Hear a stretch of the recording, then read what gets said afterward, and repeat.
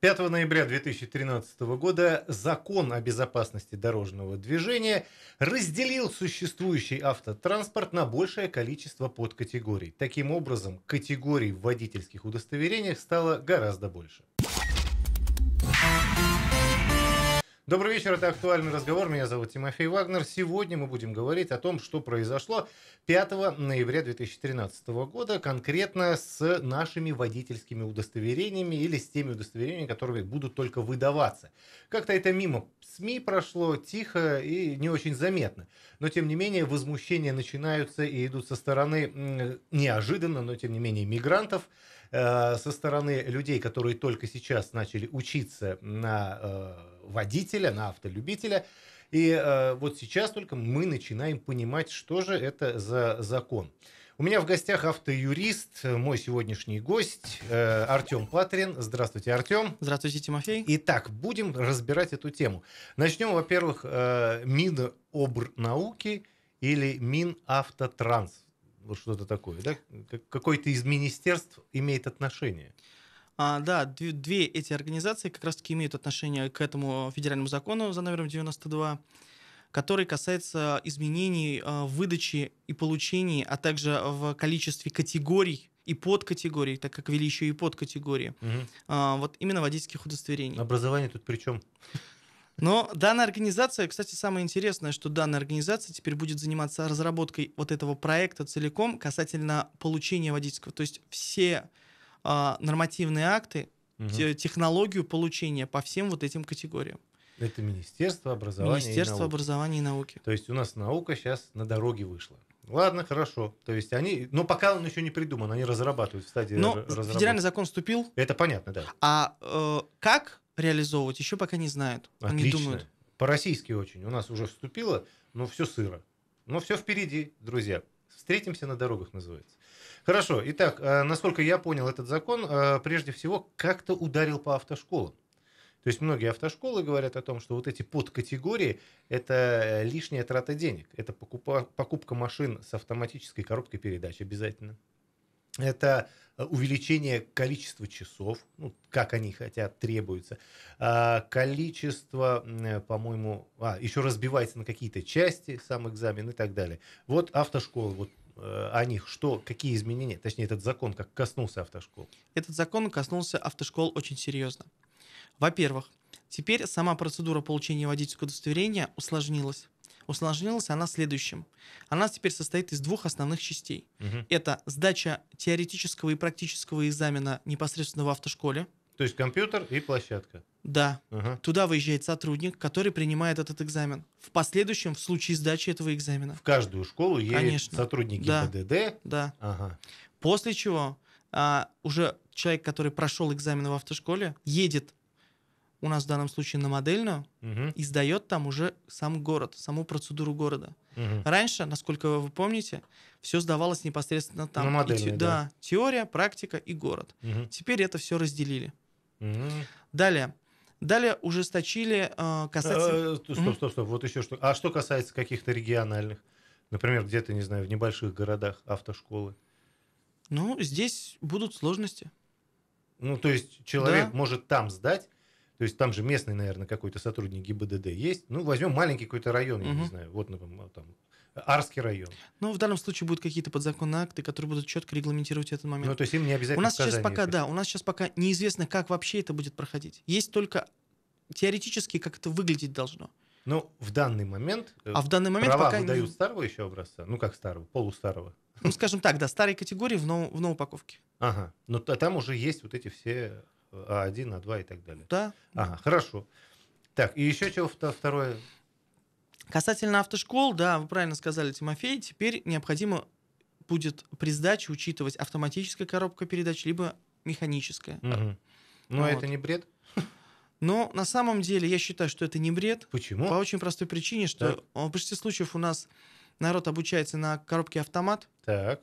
Покупают сейчас автомобили иномарки именно с коробкой автомат. Так. И у них возникают сложности при пересадке на автомобиль с механической коробкой. Угу. То есть им это делать намного сложнее. Я не понимаю, ГИБДД, если мы едем на модельную, угу. там кроме вот этой раздолбанной семерки, там ничего нет. Но сейчас же автошкола тоже предоставляет автомобили. То есть, а, То есть помимо того, что автошкола действительно тогда будут страдать. То есть ты еще и машину э, Абсолютно верно. ГИБДД. Все понятно, хорошо. Еще э, такая же а- автошколы э, говорят о том, что надо увеличивать количество часов. Точнее, они не говорят. Это говорят э, курсанты, которые учатся. Там 30 часов, по-моему, сейчас, я не знаю, сколько там э, нормативные вот эти все. 30 часов, по-моему, да? Да, сейчас количество часов, которые накатывает курсант, действительно очень мало. Потому что за это время они не успевают не только научиться, Они ничего не успевают. они не успевают ничего, да, Да. абсолютно верно. Я считаю, что практика должна быть такая же, как э, была э, во время, скажем так, 90-х годов, М. начала 2000-х, когда обучались молодые люди и девушки в специальных учреждениях при школе еще, Мгм. когда они накатывали за год, за два боль- большее количество часов, нежели сейчас. Ага. Но законодатель также исключил самый главный момент, который позволял попадать за руль людям, которые были вообще не подготовлены. То есть все, наверное, часто сталкивались с таким моментом, когда человек ездит и, скажем так, мы видим, что он не умеет управлять автомобилем. Ну, не едет, то есть. Да, грубо со всеми нарушениями, как Понятно. положено. Ага. Это исключение такого параграфа, как сдача экстерном. Теперь нельзя самостоятельно подготовиться и прийти в ГАИ сдавать. Есть законодательно, вот как-то э, конкретно, вот, что касается этого закона, сколько времени вот обязан учиться? Или, э, потому что в разных автошколах там два месяца, там три месяца, там четыре месяца, там полгода. Сейчас пытаются это все как раз-таки собрать в, один еди- Но в, один единый, в одно единое решение, да, и четко определить количество нормированных часов.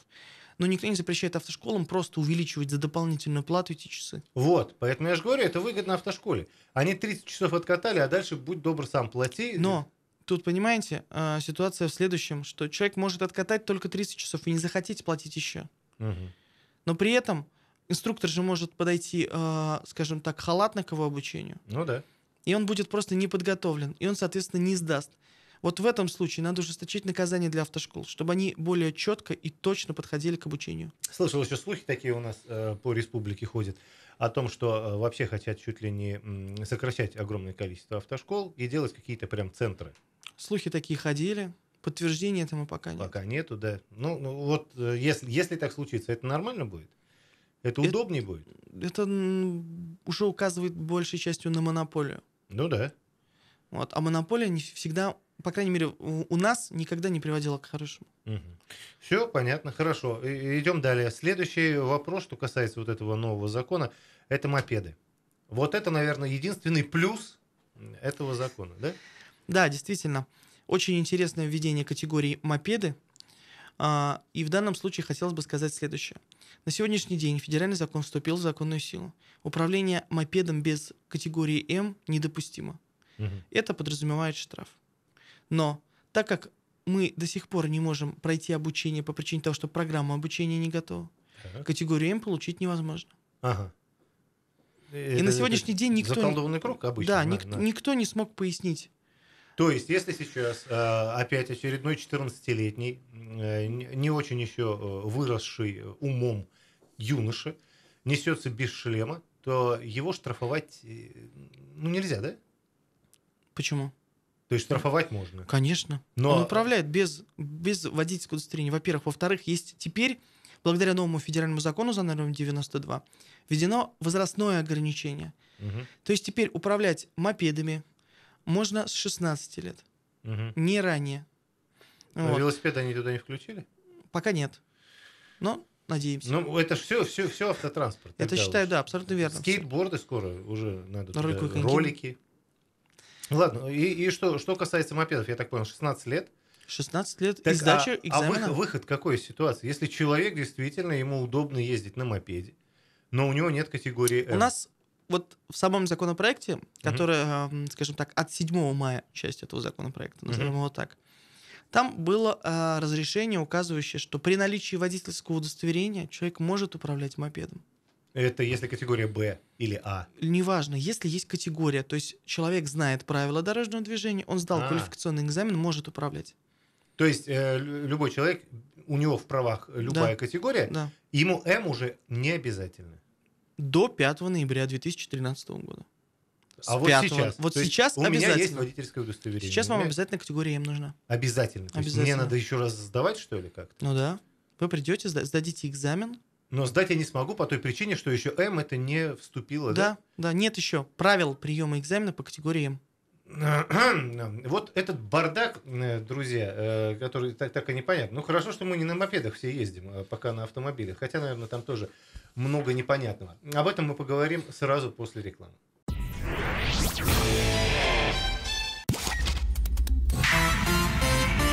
Возвращаемся, это актуальный разговор. Меня зовут Тимофей Вагнер. Сегодня мы говорим о водительских удостоверениях. 5 ноября 2013 года они поменяли свою форму, но, как э, я выяснил со своим гостем, у меня в гостях Артем Патрин, э, автоюрист, мы выяснили то, что закон-то вступил в силу, то есть штрафы уже берут. Но э, сами водительские удостоверения, как и что вписывать, еще ничего не сделано. То есть э, сам закон вступил, но как его исполнять, еще никто не знает. Хорошо, мы продолжаем. И э, вопрос обычный, тот, который и на сайте, и в интернете их полно. Это вопрос, как менять старые и когда менять старые на новые. И сколько будут длиться эти новые, ой, старые. Но по данному вопросу могу ответить следующее. Во-первых, торопиться с заменой их не следует. Они mm. будут действовать на весь срок, на который они выданы. Это mm. составляет 10 лет с момента получения. После за водителем сохраняется та категория, на которую он сдал. Угу. Единственный вопрос возникает о присвоении категории B1 и B2. Так. Категории C1, C2. А в правах нету B1, ой, просто B, вот как у меня, например, в правах. Вот в новых правах. Там э, будет указана категория B, ага. и либо B1. Понятно. Ну, Это квадроциклы, например. Сейчас мы посмотрим, как примерно будут выглядеть будущие права. Вот на угу. экране сейчас выведем. Мы будем продолжать. Итак, B1, э, Б2, а просто Нет, Б... Б1, Б, категория Б. Да. Это человек, который управляет автомобилем. Вот у меня сейчас да. Б. И я потом, у меня закончится да. мой срок, да. и какие я права получу? Такие же с категории Б. Б. Б. Ага. Так, так как э, вы получали права до федерального закона, mm то у вас останется просто категория Б. mm Если после, то там появится отметочка коробка механика либо автомат. А, ну, все, понял. Ага, хорошо. А Также появляется категория Б1. Категория B1 подразумевает управление квадроциклами. Угу. Вот. И также трициклами, то есть трехколесными. Угу. Вот. Также появляются дополнительные различные категории и подкатегории. Категории, например, Б, С и Д. А, ну то есть и автобусы, и грузовые. Да, то есть появляются ограничения по количеству мест в автобусе, по тоннажу, то есть по весу автомобиля. Там прям несколько категорий или две? Да, начинаются категории ага, именно. Понятно. Не пойму только смысл, конечно, для чего это сделано. То есть, если человек управляет грузовым э, транспортом, то он может вести как 40 человек, так и 15 человек. Но законодатель вносит изменения. Ну, Более понятно, ужесточать требования. Потому мы, что... Мы, да, мы должны выполнять закон. Это первое правило. Единственное, что сделайте этот закон, друзья. Вы это как бы все вступило, но ничего не понятно, что мы нарушаем и какие права. Хорошо, то есть вот э, эта новая карточка и сейчас, хорошо, вот сейчас те люди, которые в данный момент учатся э, в школах, Э, ну, еще там учиться им два месяца.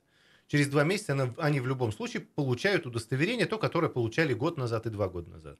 Нового образца, да. Нового образца. Нового все-таки уже там будет это B1, B2. Нет. Ага. Они получат категорию, на которую они обучались. Вот, вот, опять не понял нового образца, это новый, который в 2011 году. Да, просто а, сами, сами водительскую удостоверение я, нового образца. Я, я, я думал, что сейчас-то будет еще супер новый, получается. Нет, нет, остается то же самое исполнение водительского удостоверения. Просто в нем появятся вот эти более мелкие подкатегории. Ага. Также появятся две новых, абсолютно новых для нашего обычного, скажем так, автомобилиста категории. Так. Это трамвай и троллейбус. Так, это для э, водителей трамваев и троллейбусов? Да, абсолютно верно. То есть у них будут водительское удостоверение, где будет указана категория трамвая либо троллейбуса. А сейчас что? Вот водители трамвая, они с каким? Сейчас у них отдельная, совершенно не относящаяся именно к... Ну, понятно. Я, я думаю, что водителей трамвая не так много. Ну вот, и троллейбусов тоже. Но тем Смотри, не менее... зато вы можете обучиться и тоже водить. Да я как-то... Нет, спасибо, спасибо, да. Теперь, что касается вот того резонанса, который, по крайней мере, а, в Москве и во многих э, подмосковных городах, да и у нас тоже в Казани, это коснулось э, наличия иностранного водительского удостоверения, оно вот в связи с этим законом не является официальным. То есть теперь иностранный человек, то есть, например, у него права там Кыргызстана или там Туркменистана, они недействительны. Смотрите, хотелось бы сказать следующее. Любое водительское удостоверение страны, которая подписала конвенцию, Угу. Существует конвенция, которая подразумевает использование водительского удостоверения за пределами государства, в котором оно было получено. Так. Условия следующие. оно должно быть выполнено на одном из официальных языков, это либо французский, английский. Мгм. Вот. Также должна быть присутствовать у водителя, который управляет этим водительским, Мгм. с этим водительским удостоверением, специальная копия, нотариально заверенная, подтверждающая перевод данного удостоверения на язык государства, в котором он находится. То есть у него в правах, например, должно быть его язык, потом должен быть английский язык, Мгм. и еще он должен возить с собой бумажку, что с его родного языка переведено на русский. Да. Понятно, но тем не менее, э, я же говорю, почему эти маршрутчики-то, ну, по крайней мере, московские так точно, они там все э, приезжие, вот, ну, как все, большинство, вот, и э, они вот со своими, вот я же видел конкретно там в новостях, кыргызские какие-то права, Да. вот. И там вроде как на английском-то есть, но, но тем не менее им сказали, что вы будете получать российское удостоверение, чтобы ездить здесь. Все... В данном случае, Тимофей, немножко другая ситуация. Мы, Я Мгм. сейчас озвучил ситуацию, когда человек приехал в страну, допустим, в Россию, Мгм. из любого другого государства и перемещается там на своем автомобиле. Ага. Если же он приехал сюда с целью работать и Мгм. работает в какой-либо организации, где его, да, автотранспорт, где его, скажем так, рабочие обязанности это управлять транспортом и перевозить людей, либо Мгм. что-то перевозить, и это его работа, Мгм. тут он обязан по закону, и это было не только сейчас, и до А, это этого, До этого. он обязан получать водительское удостоверение нашего государства. Ну, странно. Ездили до этого, а вот именно этот закон их почему-то взбаламутил. До этого ездили они с этими правами? Ну, Со да- своими там? До этого, да, до этого никто их вопросом плотно не занимался. Ага. Понятно. То есть автоматически сразу то, что если мы с российскими правами едем за границу, то эти права считаются международными, наши. Наши страны, да, наши права считаются международными. И ни в одном государстве я еще не сталкивался в собственной практике Мгм. по поводу перевода на их язык. Все понятно, то есть можно. Хорошо. Э, Итак, какие права, вот сейчас вот очень много, почему мы говорили, э, новые, суперновые, не очень новые, какие права действительны вот в данный момент? Потому что есть еще с советских времен вот эти бумажки у некоторых людей. Ну, понятно. Водительское удостоверение, которое выдавалось ранее, действительно в течение 10 лет, либо в течение всего срока, на который оно выдано. Ну, раньше, в советские времена, э, без ограничений. да. Бессрочно. То есть эти Так права как- до сих пор... да, да, они до сих пор действуют. И они будут действовать. И они будут действовать. Ага, все понятно. Просто с этим водительским удостоверением вы не сможете покинуть территорию Мгм. Российской Федерации. Есть какие-то подковырки в этом законе? Есть вот что-то такое, что мимо э, водителей пройдет? Федеральный закон принят. Э, Как сложилась практика, у нас принимаются законы, потом принимаются поправки. Мгм. В настоящий момент э, есть информация полагать о том, что большое количество поправок уже к нему готовится. Мгм. Пока подводных камней в этом законе нет, за исключением тех, о которых мы уже поговорили. А, ну, вот это мопеды, Да. переделка и э, то количество категорий, которые И там, самое главное, как получать эти категории. как их получать. Пока Минобр науки и Минтранс Мгм. спорили, но сейчас Минобр все-таки принял решение самостоятельно этот документ подготовить. Будем ждать, будем надеяться. Бу- Будем надеяться, действительно, что они что-то э, хорошего сделают. И, э, друзья, э, вы можете э, в нашей группе ВКонтакте э, задавать любые вопросы, которые э, касаются непосредственно автоюридической темы. Э, Я их адресую Артему, и он обязательно ответит на них. Потому что вопросов очень много, и я думаю, это не, не первая, не последняя передача, э, которая касается непосредственно авто прав автолюбителей. Э, Перед тем, как мы начали эту программу, очень много говорили о видеорегистраторах, ну, ограничение 40 э, и так далее.